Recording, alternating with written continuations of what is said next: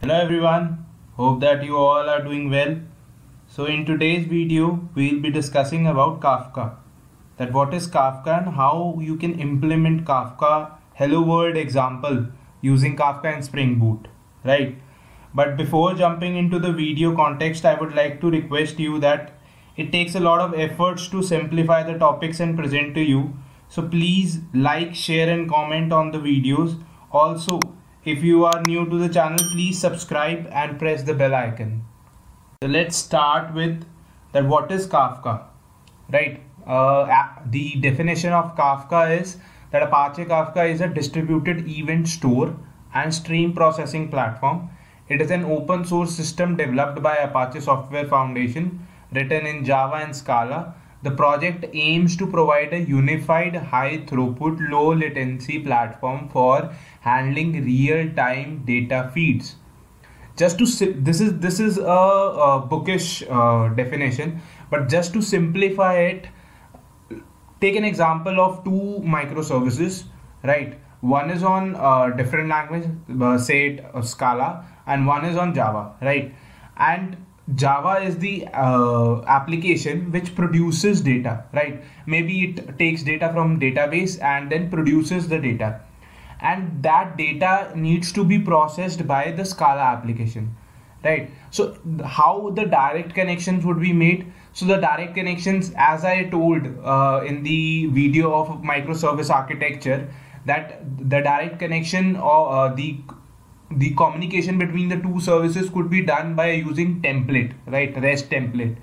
Or it could be done by kafka right? Kafka provides a sort of a store right where there are multiple topics right? And topics are also divided into multiple partitions right? And you can push data on the kafka topic and the other application that is in scala that can read that topic and take that data and process whatever it uh, the application wants to do with that data right? So you can understand uh, in that way that kafka is like a store which takes our data and keeps it in the partitions the topic partitions.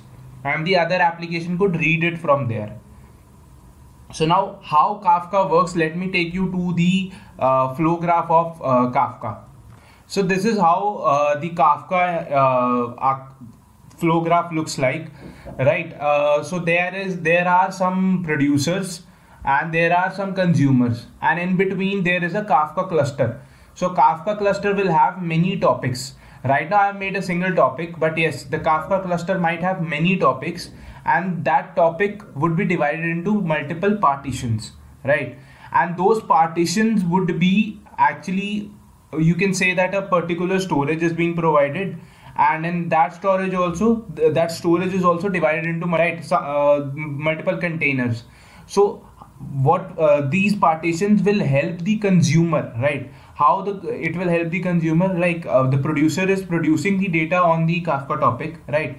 And the consumers are consuming. So if there are multiple producers and they are producing uh, the data on the Kafka topic continuously, so the data could be distributed into different partitions so that only a single partition could not be flooded with all the requests right and the uh, managing of the data could also be easy while uh, uh, making the topic divided into different partitions and the consumer can read data from different different partitions also Kafka uh, Zookeeper actually. Now uh, what all these things are being managed by Zookeeper. That okay the consumer call is coming and from where the data would be read. So all these things are being managed by Zookeeper. Same is that producer is producing the data where it should write on which partition it should write. So Zookeeper manages that. Now there is another concept in between that is called as grouping right? So so now you can understand that uh, the Kafka cluster is like a storage where producers are producing the data and consumers are consuming the data, right? Same way, uh, what we were doing uh, while we were uh, designing the microservice architecture, where I said that okay, we'll be using REST template. So at that moment, uh, we are we were using REST template to push our data to and my uh, consumer application that is my another microservice was reading from that rest template. So now it's uh, the topic uh, the name of the topic and the group id should be provided by the consumer to read that read that data that has been produced by some producer. So this is how uh, kafka works now as i have explained that how kafka works and what is the definition of kafka so now let's start with uh, that how we'll be start working on kafka and what are the basics what are the prerequisites that we require so first of all let's go on our browser and let's let us search Kafka, Kafka download. So we'll search Kafka download and go on the first link. So now you can download any of the versions, right? Uh, so you will download it and you'll you'll have to unzip it. I have already downloaded it, so I'll not uh, download again. So let me take you to the folder of Kafka. So I have downloaded into my downloads and this is my Kafka folder right you would be looking at like why uh, the uh, kafka folder name is kafka as so there i'll come to that point also that uh, many times this uh, issue comes while we are working on kafka so that's why i have renamed the folder name so eh, this is the kafka directory right there is a bin folder right and there we have all our uh, uh, bat files and start shell files so we have Zookeeper uh, start file and we have Kafka start file as well, right? Kafka server start file and Zookeeper start, server start file. So the prerequisite is that we need to download the Kafka first. And when we are trying to run our server, we need to run the Zookeeper and Kafka simultaneously, right? If we are not running Zookeeper and Kafka simultaneously, then we will uh, see a exception while running our application that says that the broker is not connected right so for that first of all you need to run the zookeeper and kafka right so this is the prerequisite that we need, you need the kafka and before running the application you need to start the zookeeper server and kafka server right i'll tell you that how we'll do that so now as you have downloaded the Kafka and you have seen that how the directory of Kafka looks like. So this is the project directory. It looks like this. So uh, this is a hello world example. So I won't be uh, making it a too complicated example. But yes, just to tell you that we'll not be pushing a simple string message on Kafka, right? That's not practical. When we work in our organizations also and when we work on uh, live projects as well, we need to push some data, right? Data means that there is some kind of an object that needs to be pushed on Kafka, right? And uh, there is some consumer application consuming that data. So we'll be pushing an object here right? So I've, that's why I've made a model uh, package wherein I have a user class right? So this is my uh, user model class where I have kept the name and age. Age I have taken string. You can take it any in uh, way. You can take it as int. I should correct it as int only. I should correct it as int right yes. So I need this. So we have name and age in our user class. So let, now let me take you to the uh, first of all the main class. So the main class looks like uh, this. It's a simple class. It has been annotated with spring boot application right? Now the main logic lies into this uh, service class right? So we have made two service classes here. One is our producer. One is our consumer right so producer and consumer as i told in the architecture as well so producers are producing the data on the Kafka topic and consumers are consuming the data from that Kafka topic. Right, so let us just jump to the producer. So this is my uh, Kaf, uh, Maven dependency. This is my Maven dependency that is uh, used because of which we are using the Kafka here, right? So this is my Maven dependency into my pom.xml. So now let's go on the producer class so here you can see that uh, I have used Kafka template and I have defined in Kafka template with uh, accepting string values, right? The key is also string and value is also string. You can act, uh, this could act as a map, right? So why I have taken the uh, string, uh, both uh, the key and values are string. So first, the first string that is the key, the key tells us that, okay, so now you can see that we have just made a method to send a message on the topic and we are returning using the Kafka template we are sending we are using the send method right? And send method takes two values right? First is the topic value and the second one is the data right? So you need to mention that which topic you are pushing the data and you second one is the data right? You can have the string data uh, json to json right right now uh, as i said that i am using an object to push on the kafka topic. That's why i'm using json right? So that to convert into the json data right? So this data would be coming as an object a user object and that, that would be converted into json and then would be pushed to the topic. So our topic name is test topic simply i'm using kafka template dot send and i'm uh, mentioning my topic name and then i'm sending the data to it. So this was uh, the uh, procedure of sending data on a topic right? Now there would be uh, some consumer who would be consuming the data and just to clarify on that this is a very basic example wherein your producer is also active your consumer is also active everything is active. When you push the data on the uh, topic at that same moment only the consumer is consuming the data from the topic.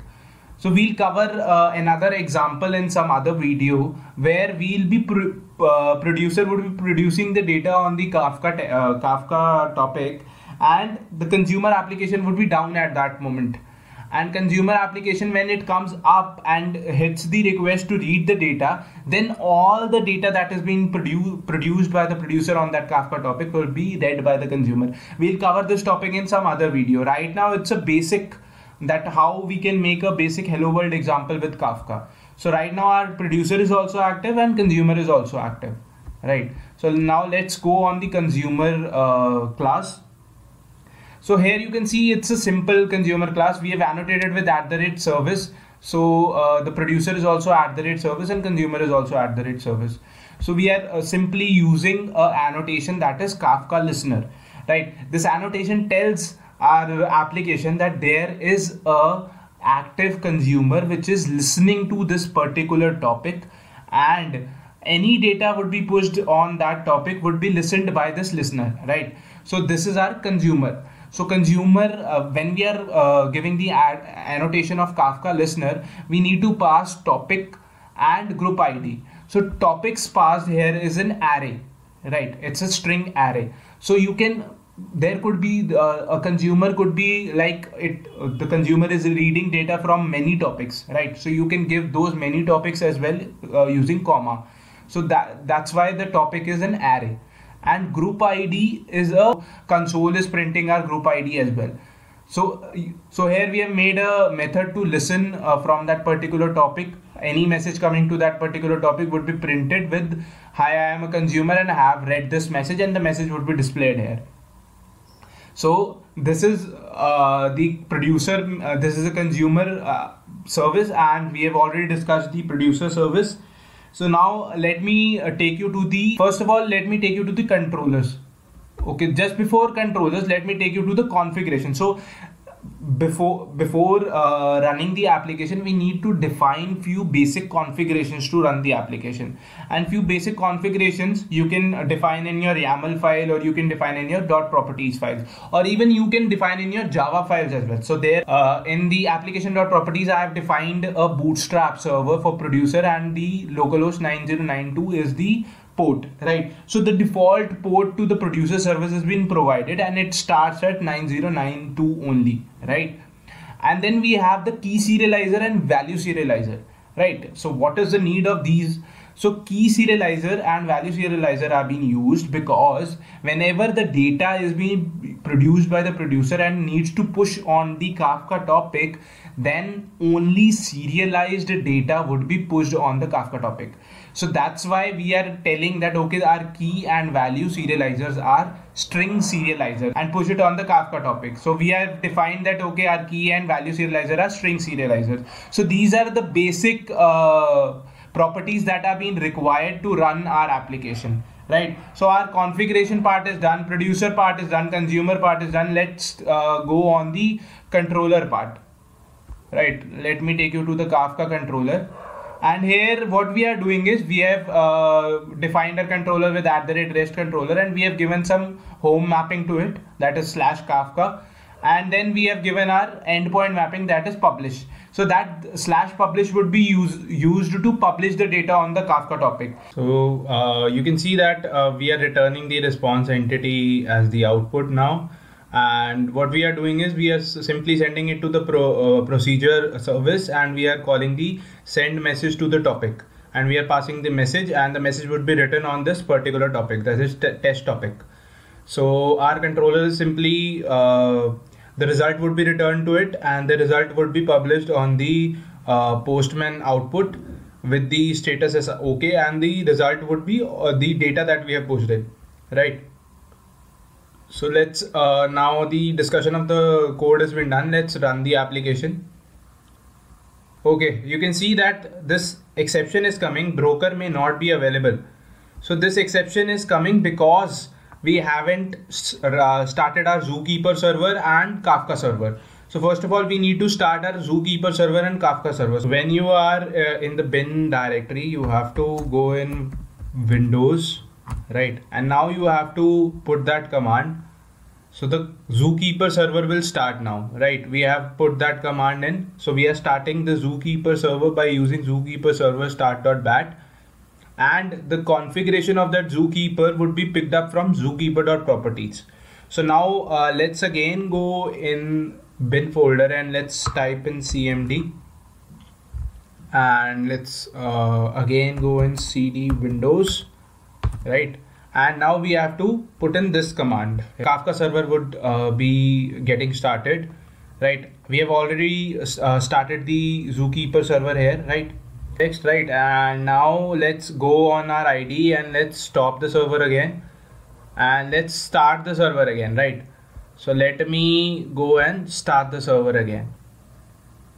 So you can see that it, the group id is being assigned and the partition the test topic partition is being done right? By our application right? It is test topic 0 right? The offset has been assigned. So test topic 0 and group id is being given to us so group id is the unique id that we have provided and the partition assigned it test topic 0 so the data that will be pushed from the procedure would be pushed on test topic 0 and consumer would be reading it from test topic 0 so let's go on the postman. And this is my call 8080 kafka publish and if I click on send the request is getting sent see that our output to our postman is name Raman and age 24 right? And when we go on our console we see that our consumer has read the value and it says I am a consumer and I have read this value. Name as Raman and age is 24 so let me now change some data right? Let me uh, change the name to uh, right, Deepak right? And let me send it again. So when I send uh, the request so it says Deepak and age is 24 and let's go on the console yes our consumer has read the value Deepak and age 24 so this was it from the video right uh, it was a very basic video wherein you have learned that how a hello world example could be run using Kafka. So uh, this was just a hello world example to Kafka wherein a consumer is also active and producer is also active. Producer is pushing the data and consumer is reading that data on the same time. So uh, this was it from the video. Hope that you people like, share and comment on the video. And if you are new, new to the channel, please subscribe the channel and press the bell icon. I'll see you in the next video. Till then, happy learning.